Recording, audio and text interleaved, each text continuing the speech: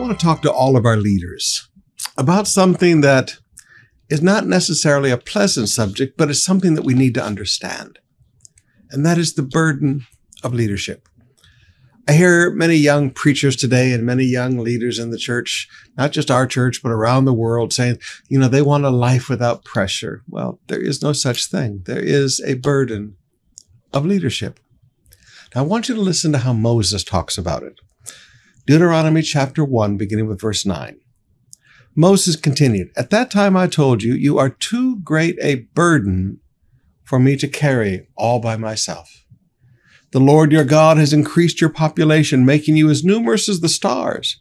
And may the Lord, the God of our ancestors, multiply you a thousand times more and bless you as he promised. But you are such a heavy load to carry. How can I deal with all your problems and bickering? Choose some well respected men from each tribe who are known for their wisdom and understanding, and I will appoint them as your leaders. Then you responded, Your plan is a good one. So I took the wise and respected men you had selected from your tribes, and I appointed them to serve as judges and officials over you. Some were responsible for a thousand people, some for a hundred, some for fifty, and some for ten. At that time I instructed the judges, You must hear the cases of your fellow Israelites and the foreigners living among you. Be perfectly fair in your decisions and impartial in all your judgments. Hear the cases of those who are poor as well as those who are rich. Don't be afraid of anyone's anger, for the decisions you make is God's decision. Bring me any cases that are too difficult for you, and I will handle them. Now, I want you to notice that there is a leadership burden that is too heavy for one person to carry. He says there in verse 9, You are too great a burden for me to carry all by myself. But I would like you to notice what the burden of leadership is. It is not a burden to bring people to the goals that God gave them as a people. It is not a burden for organization and administration and caring for the people. What is the burden? Verse 12. How can I deal with all your problems and your bickering? How can I deal with all your problems and your bickering? The burden of leadership deals, first of all, with the problems of the people. People have problems. They have problems in their marriages. They have problems with their children. They have problems in business. They have problems with other people. People have problems. And they look to leadership to help them solve their problems.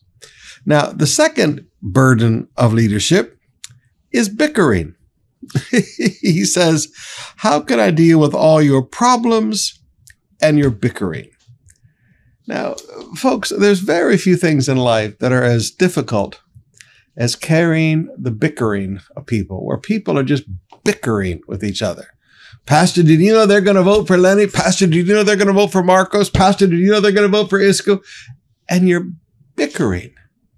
You know, we even have members of COP that said that they wanted to punch each other in the nose because of other people's political opinions. Grabe talaga. No, yes, Pastor, are you making us embarrassed? I hope so.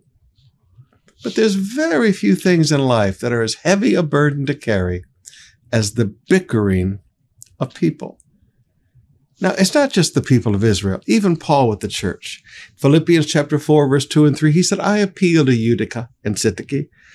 Because you belong to the Lord, settle your disagreement.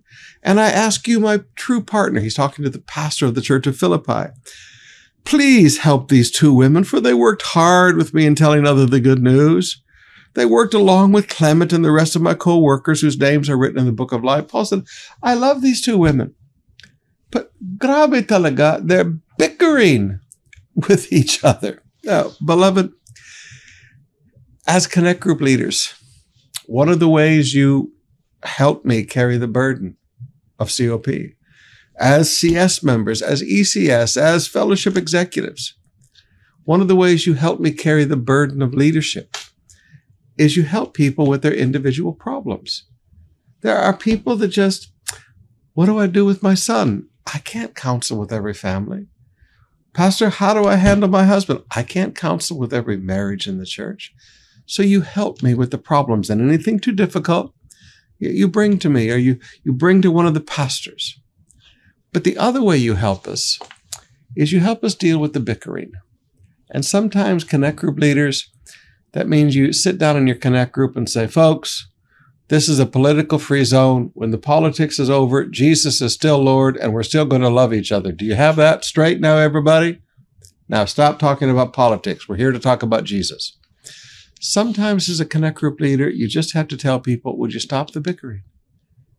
Dealing with everybody's little bickering is a heavy burden to carry.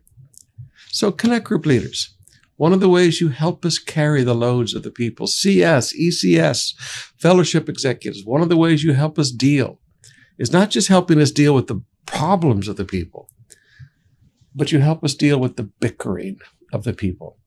And Connect Group leaders, bickering is something that we have to learn to deal with. We have to learn to help people, as Paul told the pastor of Philippi with Euodia and Syntyche. Would you please help these two women get along? Sometimes Connect Group leaders, here's my prayer. Would you please help those two Connect Group members get along with each other and leave their political opinions outside? Would you please help those two Connect Group members get along with each other and maybe just agree to disagree about that business transaction that they did?